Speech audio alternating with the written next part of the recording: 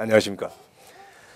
금년 2월 퀸스 베이사이드에 유대인 회관을 구입해서 한인 커뮤니티 센터로 전환하며 유대인들의 자산의 재정 관리 내역을 일부 경험하게 되었고 한인사회 자산 관리에 대한 생각을 하게 되었습니다.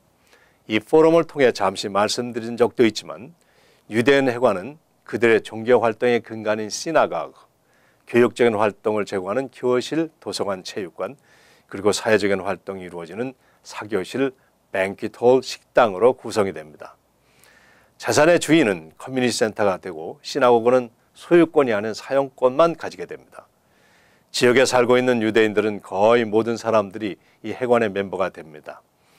비영리 단체로 설립된 회관은 그 멤버들이 소유권을 형성합니다. 그러한 회관들이 모여서 그 윗단계 조직, 예를 들어 뉴욕주 연맹을 형성하고 연맹은 각 회관들을 또 엮어서 주정부 차원에서 집단의 최대 이익을 도모하게 됩니다. 각 주의 연맹들이 모여서 연방체를 구성하여 연방 차원으로 대처하고 있습니다. 시간이 지나서 어느 지역의 유대인 인구가 낮아져서 스스로 해관을 관리할 수 없는 때가 되면 해관을 팔아서 그 재산은 연맹에 예속시키거나 일부는 그들이 합병되어 가는 해관에 기부하는 방식도 취하고 있습니다. 그들의 재산은 시간이 지나며 부가가치를 창출하고 증식된 자산이 유대인 사회로 또 이전이 되고 있습니다.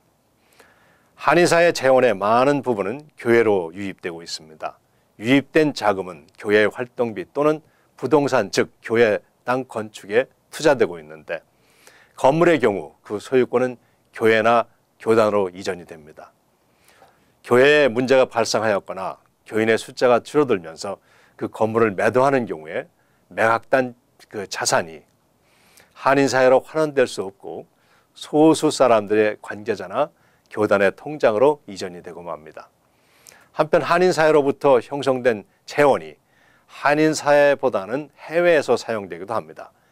해외 선교는 필요한 일이지만 재원을 형성하는 한인 사회에 양분을 주지 못하고 계속적으로 사용만 한다면 결국 황금알을 낳는 거위를 잡아먹는 결론에 이르게 될 것입니다. 한인들의 재원으로 설립된 시설은 한인사가 활용하고 소유하는 것이 마땅하며 종교단체들도 이러한 개념을 가지고 건물을 만들어 그 소유권을 종교가 아닌 지역사회가 소유할 수 있도록 하는 것이 현명한 결정이 될 것입니다. 종교와 사회가 함께 존재할 수 있는 그 기반이 필요하다는 것입니다. 그러나 그 일들이 한인사회 도처의 시작이 되면 그 단체들이 모여서 지역 협, 어, 지역의 협의체를 만들고 주정부 차원의 협의체 그리고 연방 차원의 협의체로도 발전할 수 있으리라고 믿습니다. 베이사이드 유대인 회관을 한인 커뮤니티 센터로 전환하며 한인사회의 희망을 그려봅니다. 구입비 및 수리비로 1,300만 불이 소요되고 건물 수리가 끝나고 프로그램들이 전적으로 운영될 때까지 운영비 등을 감안한다면 200만 불이 더 필요한 프로젝트입니다. 한인사회로서는 큰 도전이지만 많은 분들께서 그간 도와주셨고 앞으로도 많은 도움을 필요로 하고 있습니다. 이 센터가 주중에 그 낮 시간에는 다양한 프로그램과 서비스를 제공하고 저녁과 주말에 지역사회 각종 모임의 장소로 쓰이고 지역사회를 위한 종교 활동들이 이곳에서 자리 잡고 한인들뿐 아니라 타민족들에게도 서비스 혜택을 줄 수 있는 시설이 될 것입니다.